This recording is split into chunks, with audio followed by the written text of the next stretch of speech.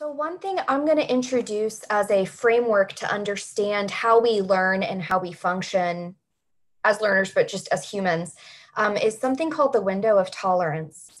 this is actually a neurophysiological concept, um, but I promise I will bring it to a level that's a little more approachable uh, for everyone. You didn't get trapped into a, um, a biology lecture here. The window of tolerance is a way of describing how much stress you as an individual can handle at any given time. Um, so when you're in your window, you are able to learn, you are able to have a detailed conversation with someone, you're able to listen. Um, oftentimes, though, for various reasons, we will go out of our window. when you do, you can either go into hyper arousal, where all your systems come online. So your heart rate goes up, uh, blood pressure goes up, and your thoughts generally start to race at this point. So everything is faster.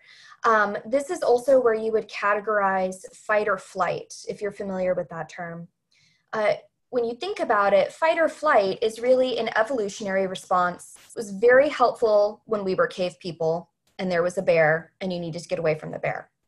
Um, what fight or flight does neurologically is it diverts all of your, resources cognitively um, to the part of your brain that's designed for survival. So you're keyed into emotions like anger and fear, and higher order thinking essentially goes out the window. Um, and when you are being chased by a bear, that is great. That's exactly what you want. But if you're knocked out of your window because there's a pandemic and you're sitting in a classroom, hyperarousal is still going to happen, but it's not particularly helpful. And it does remove any chances of meaningful learning in that moment.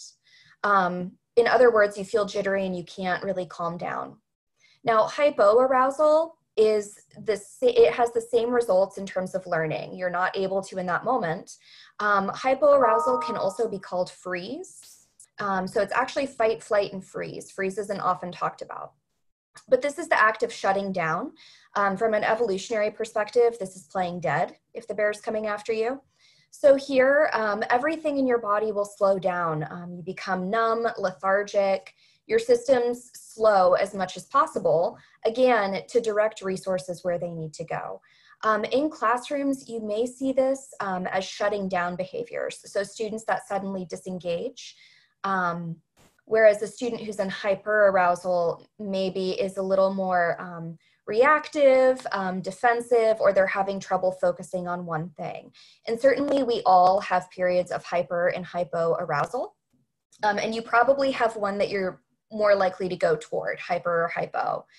Um, so one thing that we're gonna explore today is all of these strategies are designed to help make our own windows bigger and our students' windows bigger. So what's nice is this is really a strengths-based approach. It's about how big can we make these windows during a very odd time it becomes an opportunity for our students to learn in more environments. And really that's what we want in higher education anyway.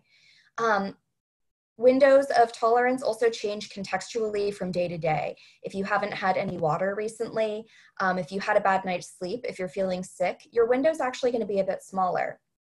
Um, so one thing we're going to invite you to do is think a little bit about what probably influences your window of tolerance, but then what also influences your student's window of tolerance too. Um, and you'll find that those two things often um, can play on each other, right? So if you're um, distracted or hyper aroused, you may start behaving in a way that elicits a similar response from a student or if you've ever had a conversation with um, a family member or romantic partner, I'm sure you've seen this happen before. One other thing uh, we really feel is important to clarify here is that being in your window of tolerance is necessary for learning. Your window of tolerance is not your comfort zone. Um, we should not conflate those two things at all. Your window of tolerance means you are safe. You are safe from, from external threats.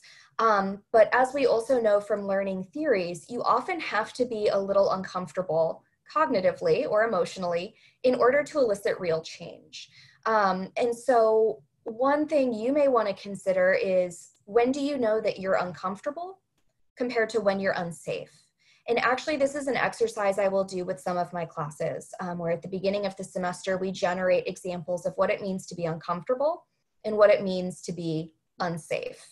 Um, another way to think about it is if I am training someone at the gym, um, I don't want to make things comfortable for them. I wouldn't remove all the weights from the gym. So, part of this is being mindful with these strategies that we want our students to till, still be empowered to take accountability for what's coming this semester. We also want to make sure that we're responding to them and engaging with them in a way that allows them to widen that window as we go through. Um, so it's kind of a it's a neat opportunity for us and them to figure out how to develop some more resiliency and resources here.